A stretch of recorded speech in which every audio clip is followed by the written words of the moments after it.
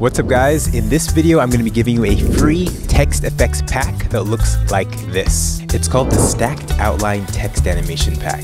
And check out how amazing it looks. I just moved to Brisbane, Australia just a couple weeks ago and we're here at the beautiful Brisbane River waterfront. And what we did in this video was crazy special. In this new series called Freebies, what we're doing is in every video, we are spending all of our time to create this amazing digital product, in this case, a text pack that we wanna give to you completely for free. And over the course of this video, which is actually a really short video, we're gonna be showing you how to use that pack again, step by step within After Effects. If you wanna check out all the other videos in this series, just check them out in the description below. All right, let me show you how to use this pack. All right, go to the description, download the zipped folder, and then download the project file inside.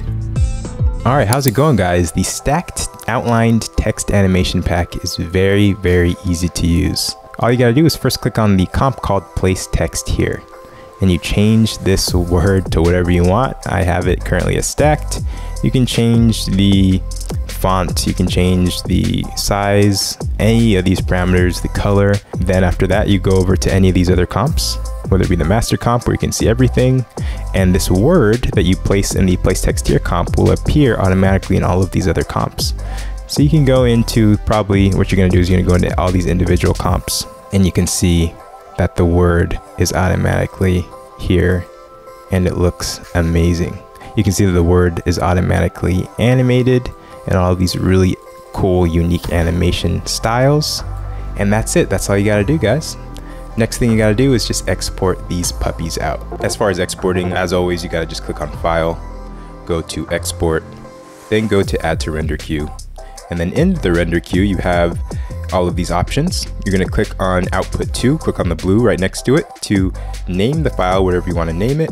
And then you can select the location that you wanna place it. We'll place it on the desktop, then do save. Then you go to output module, click on the blue right next to that. We're gonna click on QuickTime. Then we're gonna go to format options. Then for video codec, we're gonna do animation. Click OK. Then we're gonna go to the channels, go to the drop down, go to RGB plus alpha. This is very important because this is what allows the exported video file to have transparency by clicking the, the RGB plus alpha. After that, you're gonna click OK.